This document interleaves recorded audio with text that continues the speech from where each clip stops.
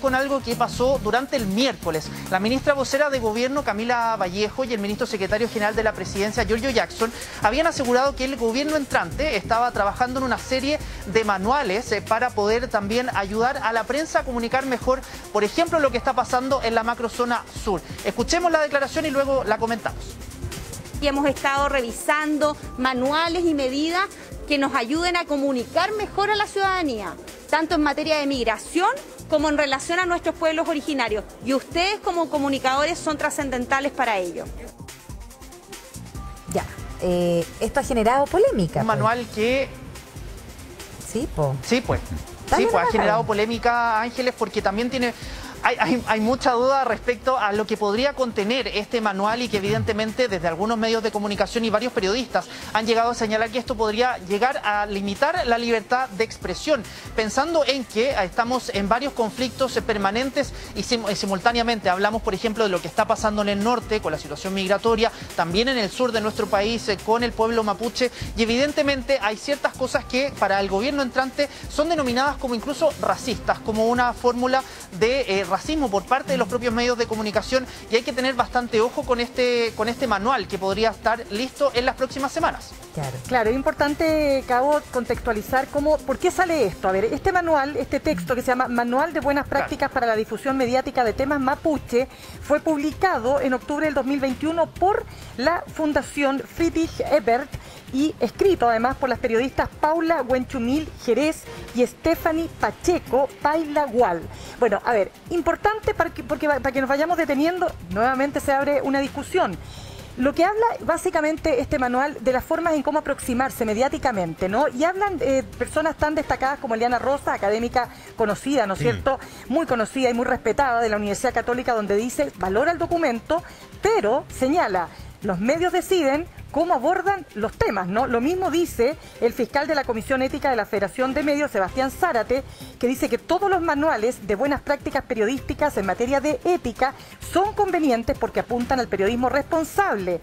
Lo que sí dice es que ciertas conclusiones que saca el manual son complejas. ¿Cuáles? Algunas de aquellas no hablar de conflicto mapuche, sino hablar de un conflicto entre el Estado de Chile y el pueblo mapuche. Entonces, ¿qué pasa si un medio dice conflicto mapuche? Libardo, Mauricio, Ángeles, ¿estaría contraviniendo Es que- alguna ética es o alguna punto. definición? Tengo que ser un debate muy periodístico, ¿no? Pero, pero lo que yo entiendo es que este es un manual que no tiene necesariamente una como una imposición a los medios. No hay, no hay un castigo, no hay un veto si es que tú no empleas las palabras sugeridas. Es una invitación a entender, a abordar de manera más responsable desde el periodismo, desde los medios de comunicación, el conflicto para entenderlo, para entenderlo mejor.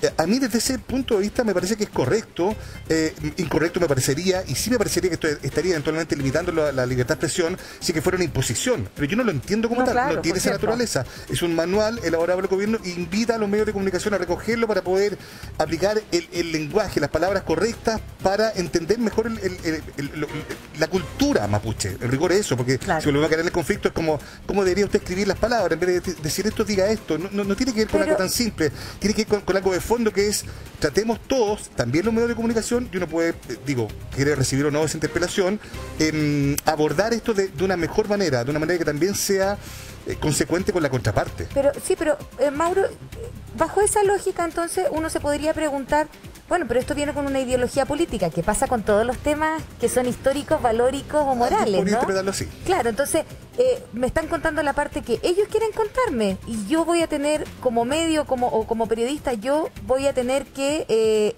regirme por eso Es que no tienes y no que- por la otra parte, por eso Es que no pregunto. tienes que, yo creo que es una invitación, insisto, no es una imposición.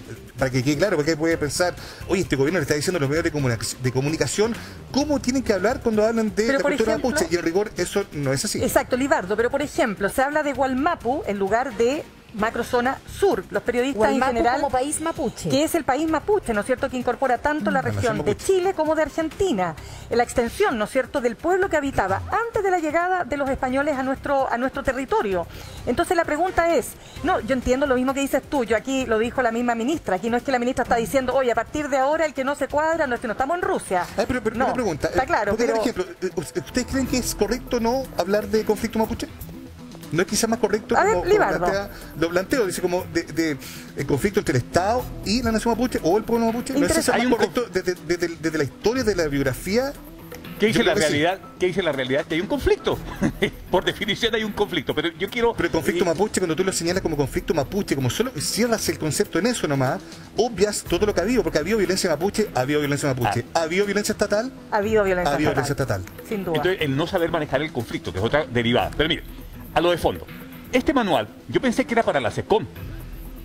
¿Por qué? Porque el gobierno sí puede darle a sus instituciones del Estado ¿Qué la SECOM, directrices, Libardo, la para que Secretaría de personas- Comunicaciones, De la. Secretaría de Comunicaciones. Entonces le dice a la Secretaría de Comunicaciones, mire, este manual, este manual es para que usted de la Secretaría de Comunicaciones le diga a todas las autoridades de este gobierno cómo nos vamos a comunicar, cuál es el lenguaje que vamos a utilizar. Para tener todo Claro, la- para estar uniformado respecto a cuál es el claro. lenguaje que quiere comunicar el gobierno, puede hacerlo, puede hacerlo. De la misma manera que eh, sería malo que el gobierno insistiera en algunos elementos, uno dice que tenga su propia lógica de comunicación. Pero Mauricio tocó el punto central.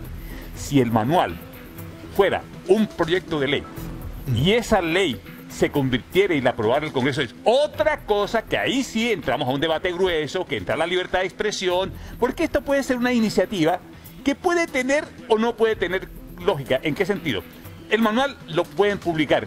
Y yo como medio digo, es un medio, es una recomendación, la pueden tener ahí. Tomar Pero- o no, claro. Tomar o no. Pero puede haber muchas instituciones privadas que me pueden hacer 20 manuales más de cómo manejar el lenguaje. Y quedan solamente ahí como orientaciones, pero no directamente a los medios, para que afecte a los medios, para que sea un intento de afectación a los, a los medios, significa que sea un, pa- un pasar por el Congreso. Y eso ahí sí entra, la, entra, entra ahí a afectarse la libertad de expresión. En tanto, yo lo veo así, no lo veo, lo veo inocuo, me parece bien, se meten ahí en un tema, eh, puede ser el preludio de algo, eso sí, eso sí, pero ver, no ver, ¿Cómo que? Eso está un bueno. preludio que, por ejemplo, la convención constituyente coge a Papa y diga, ¿sabe qué? Metámonos con el tema de aquí, de la, cómo manejan los medios. Eso puede ser. por Claro, ejemplo. mira, yo creo que lo, a ver, a mí en general, a mí, no, a mí, yo lo digo personalmente, a mí no me gusta que me pautee nadie lo que voy a decir. Yo creo que la libertad de expresión y, y no, y lo dijo también, no, en serio, o sea, yo no dejo que nadie me pautee. Ahí por, eh, yo, yo siempre digo, mi único partido es el periodismo, porque sinceramente uno puede tener una visión o no de la vida, del, del concepto de país que queremos, ¿no es cierto? Claro. Uno votará por uno u otro candidato, pero nosotros los periodistas, por lo menos yo en eso hablo a título personal, a mí me gusta hacer periodismo. Ahora bien, si alguien me dice, mira, yo te sugiero eh, en un manual como este, yo sugeriría que cuando aborden el conflicto traten de evitar conceptos como etnia, que es lo que dice acá, Sí. que es un concepto, dice, relacionado con categorías más clásicas, menos respetuosas eh, para referirse a los pueblos indígenas, lo recojo. Pueblo indígena. Como en su momento también surgió ¿Te como, fijas? como, como un manual, una sugerencia, una vez más, una invitación a los medios a entender mejor Exacto. cómo referirte a minorías sexuales o, Eh, o- o tal temas cual. de género también, ¿no? Tal cual, ¿cuánto ha Pero con tu mismo ejemplo, Mirna. Dígame. Con tu mismo ejemplo.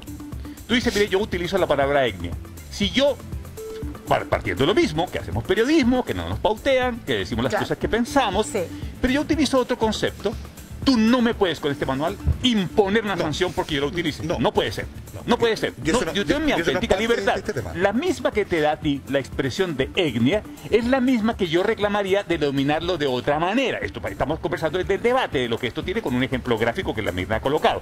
Y estamos haciendo el mismo periodismo. Un periodismo en donde el sentido puro es una expresión que no refleja interés de otra persona, que es lo que nosotros intentamos hacer. No nos pautean, perfecto, ¿cierto? Entonces tú dices, mire, yo aquí en este titular voy a utilizar la etnia mapuche. Pero yo podría poner otro concepto y no afectar el, mar- el, el Ahora, sí es cierto, pero, Ángeles, que sí es verdad lo que dice este capi- uno de los capítulos. Racismo en la prensa.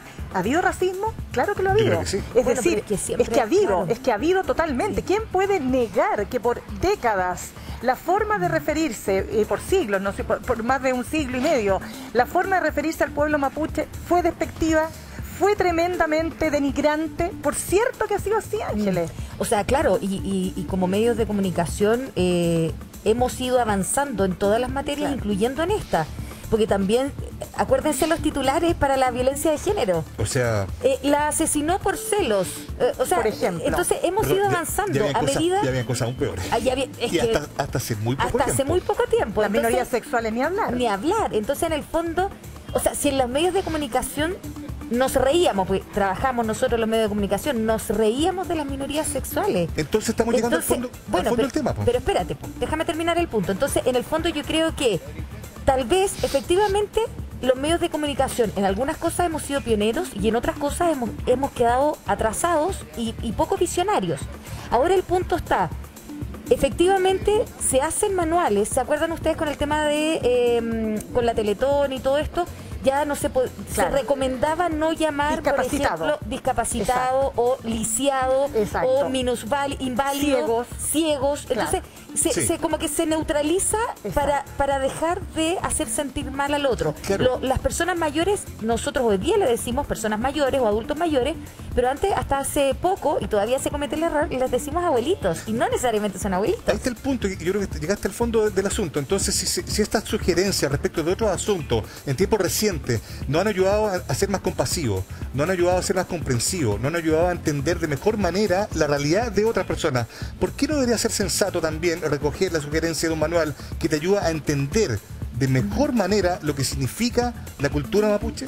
A mí desde ese lugar, y entendiendo que hay gente que le puede generar eh, suspicacia o, le puede generar molestias, y en realidad a mí no me vengan a decir cómo yo tengo que referirme a los asuntos que yo quiero tratar. Está bien, yo creo que nadie está hablando de, aquello, y no es solo un tema formal, no es solo un tema de qué palabra ocupas, es un tema de que con esa palabra que tú ocupas y los medios de comunicación ocupamos, también puedes entender mejor un conflicto, porque a la hora de decir, ¿por qué pasa esto? ¿Por qué la reciben con balazo a la ministra, a la ministra del Interior? Quizá de alguna manera Quizás de alguna manera también porque no entendemos. Yo escuchaba ayer al, periodista Pedro Cayuqueo, que un hombre que, sabe mucho de este tema, y hablaba un poco de eso, más allá de si fue imprudente o no la visita de la ministra del Interior a Temo Cuycuy, que hemos comentado largamente esta semana, él decía como todavía hay mucha ignorancia, ignorancia en el sentido de no saber, de no conocer, y no querer conocer o no querer saber algo que los medios de comunicación no nos podemos permitir. Bien. 9 de la mañana con 16 minutos, tema que sin duda va a dar que hablar, porque esta es una referencia de lo que está preparando el Ejecutivo. Estos son eh, 84 páginas de un informe que se realizó el año pasado, entonces, de este manual. Son cinco capítulos y como esta referencia se está eh, eh, elaborando ¿no? el protocolo por parte del Ejecutivo y vamos a ver entonces qué sale de allí y sin duda lo vamos a estar conversando. Vamos a revisar otras